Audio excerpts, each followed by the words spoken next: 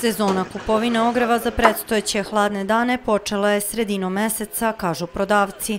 Vrhunac sezone se tek očekuje i to polovinom septembra. Kupovinu sad za početak idu drva, ugalj nešto malo kasnije, kasnije kreće.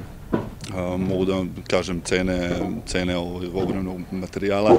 Drva su nam 4900 dinara, nam je bukva, 4700 je bagrem a ugalj nam je, znači imamo kolubarski ugalj, imamo lignit kolubara, on je 7500 dinara, a sušeni ugalj nam je 13500 dinara.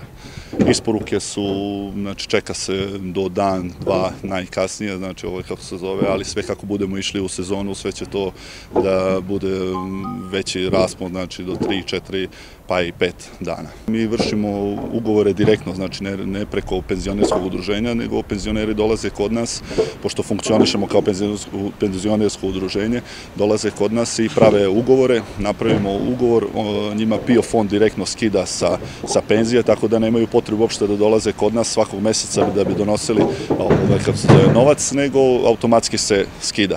Cene uglja se ove sezone neće menjati, međutim drvo je već poskupelo za 200 dinara u odnosu na prošlu nedelju i bit će sve skuplje.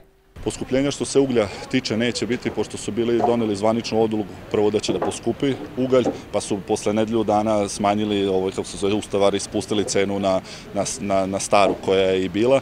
Ugalj je počeo tek pre jedno desetak dana, znači ovo, kako se zove, Kolubara da radi, nisu radili zbog poplava što su bile prošle godine.